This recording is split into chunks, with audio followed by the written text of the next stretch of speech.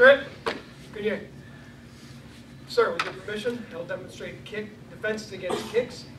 The demonstration will consist of two parts. The first part will be a single attacker, where the follow-through will be the submission. The second part will consist of two attackers, and it will be more flowing. There will not be submission make sure I don't get hit by the second attacker. Sir, may I begin? Thank you, sir.